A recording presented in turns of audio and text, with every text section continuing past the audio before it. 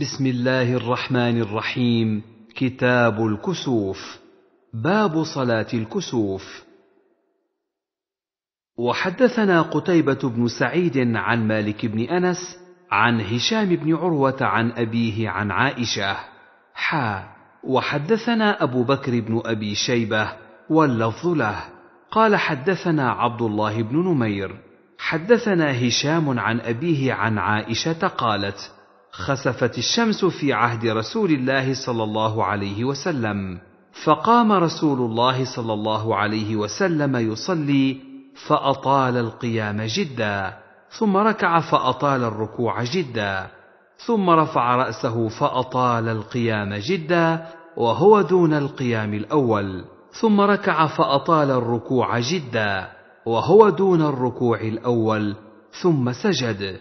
ثم قام فأطال القيام وهو دون القيام الأول ثم ركع فأطال الركوع وهو دون الركوع الأول ثم رفع رأسه فقام فأطال القيام وهو دون القيام الأول ثم ركع فأطال الركوع وهو دون الركوع الأول ثم سجد ثم انصرف رسول الله صلى الله عليه وسلم وقد تجلت الشمس فخطب الناس فحمد الله وأثنى عليه ثم قال إن الشمس والقمر من آيات الله وإنهما لا ينخسفان لموت أحد ولا لحياته فإذا رأيتموهما فكبروا وادعوا الله وصلوا وتصدقوا يا أمة محمد إن من أحد أغير من الله. أن يزني عبده أو تزني أمته يا أمة محمد والله لو تعلمون ما أعلم لبكيتم كثيرا ولضحكتم قليلا. ألا هل بلغت؟ وفي رواية مالك إن الشمس والقمر آيتان من آيات الله. حدثناه يحيى بن يحيى أخبرنا أبو معاوية عن هشام بن عروة بهذا الإسناد وزاد ثم قال أما بعد. فإن الشمس والقمر من آيات الله. وزاد أيضا ثم رفع يديه فقال اللهم هل بلغت؟ حدثني حرملة بن يحيى أخبرني ابن وهب أخبرني يونس حا وحدثني أبو الطاهر ومحمد بن سلمة المرادي.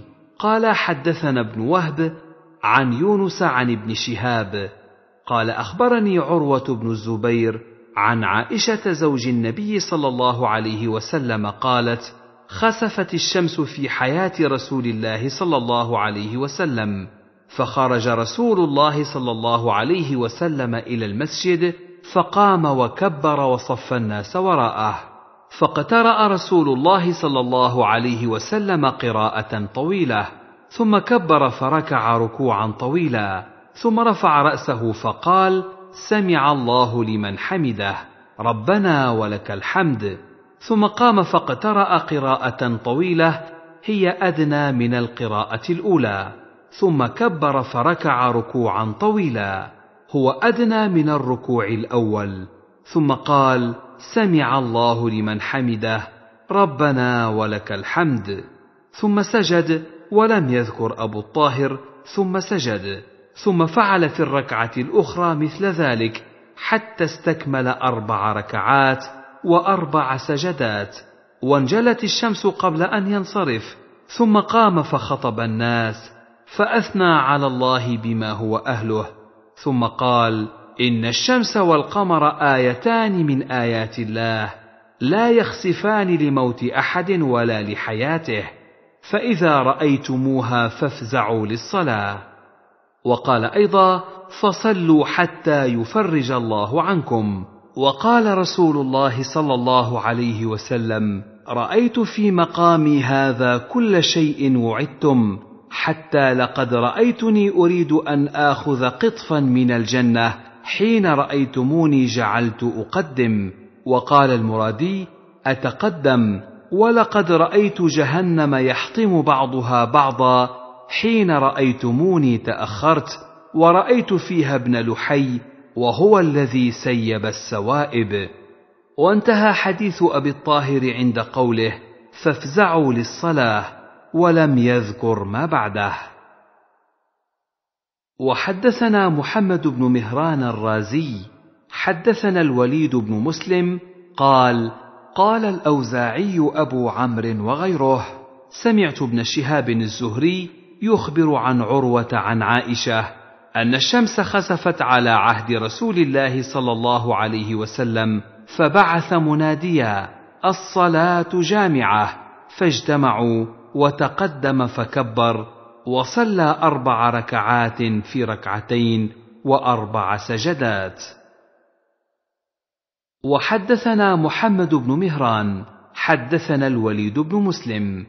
أخبرنا عبد الرحمن بن نمر أنه سمع ابن شهاب يخبر عن عروة عن عائشة أن النبي صلى الله عليه وسلم جهر في صلاة الخسوف بقراءته فصلى أربع ركعات في ركعتين وأربع سجدات.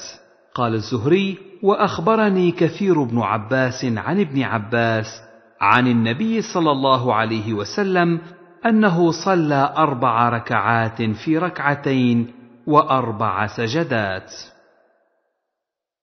وحدثنا حاجب بن الوليد حدثنا محمد بن حرب حدثنا محمد بن الوليد الزبيدي عن الزهري قال كان كثير بن عباس يحدث أن ابن عباس كان يحدث عن صلاة رسول الله صلى الله عليه وسلم يوم كسفت الشمس بمثل ما حدث عروة عن عائشة.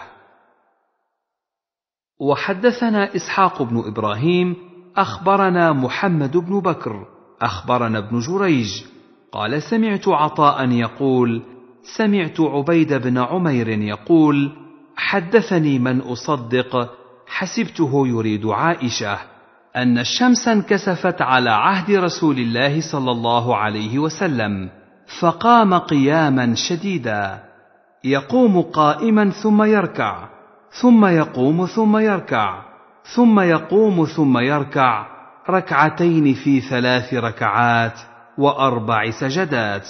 فانصرف وقد تجلت الشمس وكان إذا ركع قال الله أكبر. ثم يركع وإذا رفع رأسه قال سمع الله لمن حمده.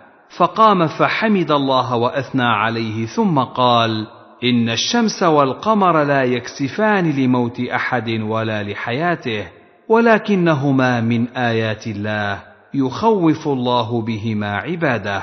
فإذا رأيتم كسوفا فاذكروا الله حتى ينجليا. وحدثني أبو غسان المسمعي ومحمد بن المثنى قالا حدثنا معاذ وهو ابن هشام حدثني أبي عن قتادة عن عطاء بن أبي رباح عن عبيد بن عمير عن عائشة أن نبي الله صلى الله عليه وسلم صلى ست ركعات وأربع سجدات. باب ذكر عذاب القبر في صلاة الخسوف. وحدثنا عبد الله بن مسلمة القعنبي. حدثنا سليمان يعني بن بلال عن يحيى عن عمرة أن يهودية أتت عائشة تسألها فقالت أعاذك الله من عذاب القبر؟ قالت عائشة فقلت يا رسول الله يعذب الناس في القبور؟ قالت عمرة فقالت عائشة قال رسول الله صلى الله عليه وسلم عائذا بالله. ثم ركب رسول الله صلى الله عليه وسلم ذات غداة مركبا فخسفت الشمس. قالت عائشة فخرجت في نسوة بين ظهري الحجر في المسجد فأتى رسول الله صلى الله عليه وسلم من مركبه حتى انتهى إلى مصلاه الذي كان يصلي فيه. فقام وقام الناس وراءه. قالت عائشة فقام قياما طويلا ثم ركع. فركع ركوعا طويلا ثم رفع فقام قياما طويلا وهو دون القيام الأول ثم ركع فركع ركوعا طويلا وهو دون ذلك الركوع ثم رفع وقد تجلت الشمس فقال إني قد رأيتكم تفتنون في القبور كفتنة الدجال. قالت عمره فسمعت عائشة تقول فكنت أسمع رسول الله صلى الله عليه وسلم بعد ذلك يتعوذ من عذاب النار وعذاب القبر. وحدثناه محمد بن المثنى حدثنا عبد الوهاب حا وحدثنا ابن أبي عمر حدثنا سفيان جميعا عن يحيى بن سعيد في هذا الإسناد بمثل معنى حديث سليمان بن بلال. باب ما عرض على النبي صلى الله عليه وسلم في صلاة الكسوف من أمر الجنة والنار. وحدثني يعقوب بن إبراهيم الدورقي حدثنا إسماعيل بن علية عن هشام الدستوائي قال حدثنا أبو الزبير عن جابر بن عبد الله قال كسفت الشمس على عهد رسول الله صلى الله عليه وسلم في يوم شديد الحر. فصلى رسول الله صلى الله عليه وسلم بأصحابه فأطال القيام حتى جعلوا يخرون ثم ركع فأطال ثم رفع فأطال ثم ركع فأطال ثم رفع فأطال ثم سجد سجدتين ثم قام فصنع نحوا من ذاك. فكانت أربع ركعات وأربع سجدات ثم قال إنه عرض علي كل شيء تولجونه فعرضت علي الجنة حتى لو تناولت منها قطفا أخذته أو قال تناولت منها قطفا فقصرت يدي عنه وعرضت علي النار فرأيت فيها امرأة من بني إسرائيل تعذب في هرة لها ربطتها فلم تطعمها ولم تدعها تأكل من خشاش الأرض. ورأيت أبا ثمامة عمرو بن مالك يجر قصبه في النار وإنهم كانوا يقولون إن الشمس والقمر لا يخسفان إلا لموت عظيم وإنهما آيتان من آيات الله يريكموهما فإذا خسفا فصلوا حتى ينجلي. وحدثنيه أبو غسان المسمعي حدثنا عبد الملك بن الصباح عن هشام بهذا الإسناد مثله إلا أنه قال ورأيت في النار امرأة حميرية سوداء طويلة ولم يقل من بني إسرائيل. حدثنا أبو بكر بن أبي شيبة حدثنا عبد الله بن نمير حا وحدثنا محمد بن عبد الله بن نمير وتقارب في اللفظ قال حدثنا أبي حدثنا عبد الملك عن عطاء عن جابر قال انكسفت الشمس في عهد رسول الله صلى الله عليه وسلم يوم مات إبراهيم ابن رسول الله صلى الله عليه وسلم فقال الناس إنما انكسفت لموت إبراهيم فقام النبي صلى الله عليه وسلم فصلى بالناس ست ركعات بأربع سجدات بدأ فكبر ثم قرأ فأطال القراءة ثم ركع نحوا مما قام ثم رفع رأسه من الركوع فقرأ قراءة دون القراءة الأولى ثم ركع نحوا مما قام ثم رفع رأسه من الركوع فقرأ قراءة دون القراءة الثانية ثم ركع نحوا مما قام. ثم رفع رأسه من الركوع ثم انحدر بالسجود فسجد سجدتين ثم قام فركع أيضا ثلاث ركعات ليس فيها ركعة إلا التي قبلها أطول من التي بعدها وركوعه نحوا من سجوده ثم تأخر وتأخرت الصفوف خلفه حتى انتهينا وقال أبو بكر حتى انتهى إلى النساء. ثم تقدم وتقدم الناس معه حتى قام في مقامه فانصرف حين انصرف وقد آضت الشمس فقال يا أيها الناس إنما الشمس والقمر آيتان من آيات الله وإنهما لا ينكسفان لموت أحد من الناس. وقال أبو بكر لموت بشر فإذا رأيتم شيئا من ذلك فصلوا حتى تنجلي. ما من شيء توعدونه إلا قد رأيته في صلاتي هذه. لقد جيء بالنار. وذلكم حين رأيتموني تأخرت مخافة أن يصيبني من لفحها. وحتى رأيت فيها صاحب المحجن يجر قصبه في النار. كان يسرق الحاج بمحجنه. فإن فطن له قال إنما تعلق بمحجني وإن غفل عنه ذهب به. وحتى رأيت فيها صاحبة الهرة التي ربطتها فلم تطعمها ولم تدعها تأكل من خشاش الأرض حتى ماتت جوعا ثم جيء بالجنة وذلكم حين رأيتموني تقدمت حتى قمت في مقامي ولقد مددت يدي وأنا أريد أن أتناول من ثمرها لتنظروا إليه ثم بدا لي ألا أفعل. فما من شيء توعدونه إلا قد رأيته في صلاتي هذه. حدثنا محمد بن العلاء الهمداني حدثنا ابن نمير حدثنا هشام عن فاطمة عن أسماء قالت خسفت الشمس على عهد رسول الله صلى الله عليه وسلم فدخلت على عائشة وهي تصلي فقلت ما شأن الناس يصلون؟ فأشارت برأسها إلى السماء فقلت آية قالت نعم. فأطال رسول الله صلى الله عليه وسلم القيام جدا حتى تجلاني الغشي. فأخذت قربة من ماء إلى جنبي فجعلت أصب على رأسي أو على وجهي من الماء. قالت فانصرف رسول الله صلى الله عليه وسلم وقد تجلت الشمس. فخطب رسول الله صلى الله عليه وسلم الناس. فحمد الله وأثنى عليه ثم قال أما بعد ما من شيء لم أكن رأيته إلا قد رأيته في مقامي هذا حتى الجنة والنار وإنه قد أوحي إلي أنكم تفتنون في القبور قريبا أو مثل فتنة المسيح الدجال لا أدري أي ذلك قالت أسماء فيؤتى أحدكم فيقال ما علمك بهذا الرجل؟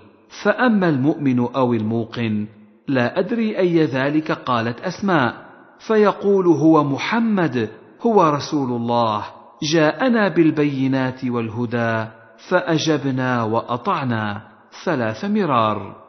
فيقال له نم قد كنا نعلم إنك لتؤمن به فنم صالحا. وأما المنافق أو المرتاب لا أدري أي ذلك قالت أسماء فيقول لا أدري. سمعت الناس يقولون شيئا فقلت. حدثنا أبو بكر بن أبي شيبة وأبو كريب. قالا حدثنا أبو أسامة عن هشام عن فاطمة عن أسماء قالت أتيت عائشة فإذا الناس قيام وإذا هي تصلي. فقلت ما شأن الناس؟ واقتص الحديث بنحو حديث ابن نمير عن هشام. أخبرنا يحيى بن يحيى أخبرنا سفيان بن عيينة عن الزهري عن عروة قال لا تقل كسفت الشمس ولكن قل خسفت الشمس. حدثنا يحيى بن حبيب الحارثي حدثنا خالد بن الحارث حدثنا ابن جريج حدثني منصور بن عبد الرحمن عن أمه صفية بنت شيبة عن أسماء بنت أبي بكر أنها قالت فزع النبي صلى الله عليه وسلم يوما قالت تعني يوم كسفت الشمس فأخذ درعا حتى أدرك بردائه فقام للناس قياما طويلا. ولو أن إنسانا أتى لم يشعر أن النبي صلى الله عليه وسلم ركع ما حدث أنه ركع من طول القيام. وحدثني سعيد بن يحيى الأموي حدثني أبي حدثنا ابن جريج بهذا الإسناد مثله وقال قياما طويلا يقوم ثم يركع وزاد فجعلت أنظر إلى المرأة أسن مني وإلى الأخرى هي أسقم مني. وحدثني أحمد بن سعيد الدارمي حدثنا حبان حدثنا وهيب حدثنا منصور عن أمه عن أسماء بنت أبي بكر قالت كسفت الشمس على عهد النبي صلى الله عليه وسلم ففزع فأخطأ بدرع حتى أدرك بردائه بعد ذلك. قالت فقضيت حاجتي ثم جئت ودخلت المسجد. فرأيت رسول الله صلى الله عليه وسلم قائما فقمت معه فأطال القيام حتى رأيتني أريد أن أجلس ثم ألتفت إلى المرأة الضعيفة فأقول هذه أضعف مني فأقوم فركع فأطال الركوع ثم رفع رأسه فأطال القيام حتى لو أن رجلا جاء خيل إليه أنه لم يركع. حدثنا سويد بن سعيد، حدثنا حفص بن ميسرة، حدثني زيد بن أسلم عن عطاء بن يسار عن ابن عباس قال: انكسفت الشمس على عهد رسول الله صلى الله عليه وسلم، فصلى رسول الله صلى الله عليه وسلم والناس معه. فقام قياما طويلا قدر نحو سورة البقرة ثم ركع ركوعا طويلا ثم رفع فقام قياما طويلا وهو دون القيام الأول ثم ركع ركوعا طويلا وهو دون الركوع الأول ثم سجد ثم قام قياما طويلا وهو دون القيام الأول ثم ركع ركوعا طويلا وهو دون الركوع الأول ثم رفع فقام قياما طويلا وهو دون القيام الأول ثم ركع ركوعا طويلا وهو دون الركوع الأول. ثم سجد. ثم انصرف وقد انجلت الشمس فقال إن الشمس والقمر آيتان من آيات الله. لا ينكسفان لموت أحد ولا لحياته. فإذا رأيتم ذلك فاذكروا الله. قالوا يا رسول الله رأيناك تناولت شيئا في مقامك هذا ثم رأيناك كففت. فقال إني رأيت الجنة. فتناولت منها عنقودا ولو أخذته لاكلتم منه ما بقيت الدنيا. ورأيت النار فلم أر كاليوم منظرا قط ورأيت أكثر أهلها النساء. قالوا بم يا رسول الله؟ قال بكفرهن. قيل أيكفرن بالله؟ قال بكفر العشير وبكفر الإحسان. لو أحسنت إلى إحداهن الدهر ثم رأت منك شيئا قالت ما رأيت منك خيرا قط. وحدثناه محمد بن رافع حدثنا إسحاق يعني ابن عيسى أخبرنا مالك عن زيد بن أسلم في هذا الإسناد بمثله غير أنه قال ثم رأيناك تكعكعت باب ذكر من قال إنه ركع ثمان ركعات في أربع سجدات. حدثنا أبو بكر بن أبي شيبة حدثنا إسماعيل بن علية عن سفيان عن حبيب عن طاووس عن ابن عباس قال صلى رسول الله صلى الله عليه وسلم حين كسفت الشمس ثمان ركعات في أربع سجدات وعن علي مثل ذلك. وحدثنا محمد بن المثنى وأبو بكر بن خلاد كلاهما عن يحيى القطان. قال ابن المثنى حدثنا يحيى عن سفيان قال حدثنا حبيب عن طاووس عن ابن عباس عن النبي صلى الله عليه وسلم أنه صلى في كسوف قرأ ثم ركع ثم قرأ ثم ركع ثم قرأ ثم ركع ثم قرأ ثم ركع ثم سجد قال والأخرى مثلها. باب ذكر النداء بصلاة الكسوف الصلاة جامعة. حدثني محمد بن رافع حدثنا أبو النضر حدثنا أبو معاوية وهو شيبان النحوي عن يحيى عن أبي سلمة عن عبد الله بن عمرو بن العاص. حا وحدثنا عبد الله بن عبد الرحمن الدارمي. أخبرنا يحيى بن حسان حدثنا معاوية بن سلام عن يحيى بن أبي كثير. قال أخبرني أبو سلمة بن عبد الرحمن عن خبر عبد الله بن عمرو بن العاص أنه قال لما انكسفت الشمس على عهد رسول الله صلى الله عليه وسلم نودي بي الصلاة جامعة.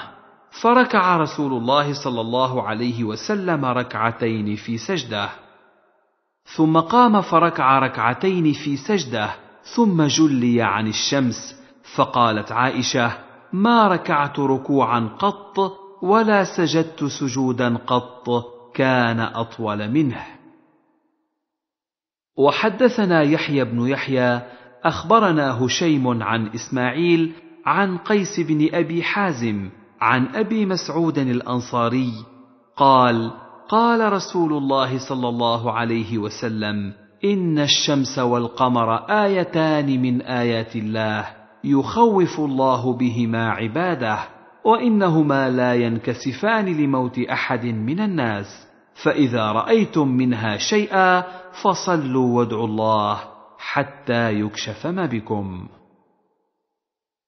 وحدثنا عبيد الله بن معاذ العنبري ويحيى بن حبيب قال حدثنا معتمر عن إسماعيل عن قيس عن أبي مسعود أن رسول الله صلى الله عليه وسلم قال إن الشمس والقمر ليس ينكسفان لموت أحد من الناس ولكنهما آيتان من آيات الله فإذا رأيتموه فقوموا فصلوا.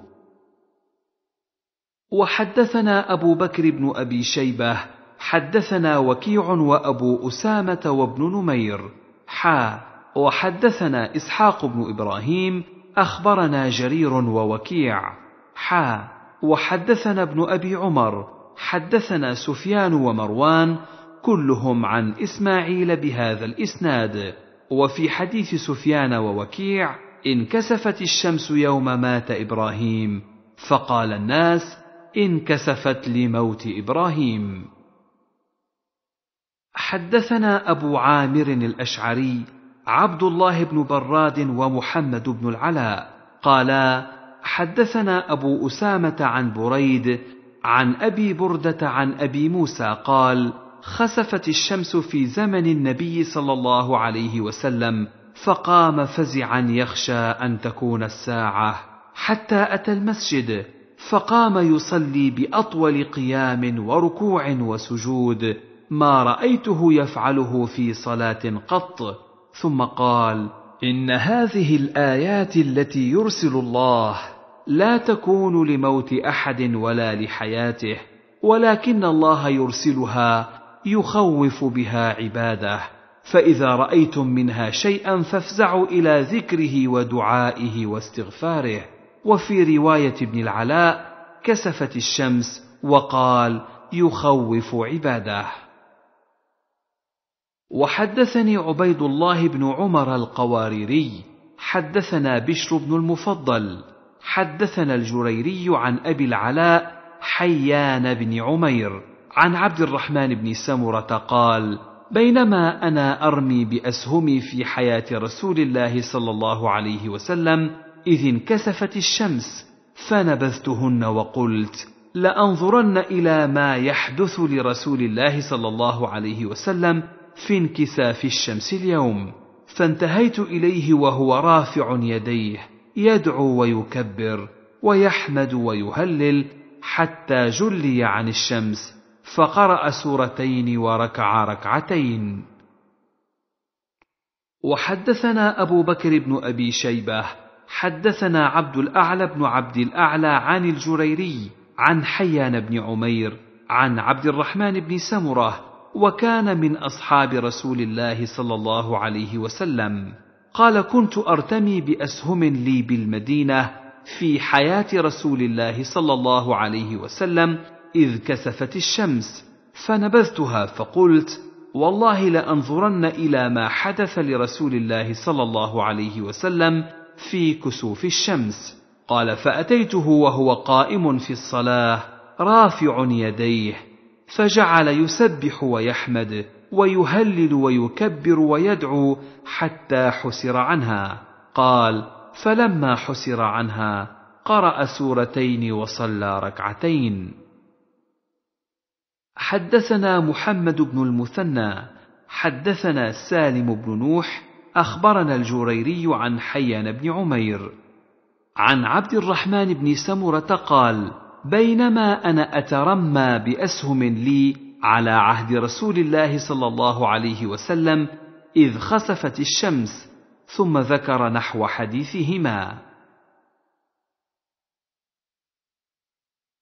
وحدثني هارون بن سعيد الأيلي حدثنا ابن وهب أخبرني عمرو بن الحارث أن عبد الرحمن بن القاسم حدثه عن أبيه القاسم بن محمد بن أبي بكر الصديق عن عبد الله بن عمر أنه كان يخبر عن رسول الله صلى الله عليه وسلم أنه قال إن الشمس والقمر لا يخسفان لموت أحد ولا لحياته ولكنهما آية من آيات الله فإذا رأيتموهما فصلوا.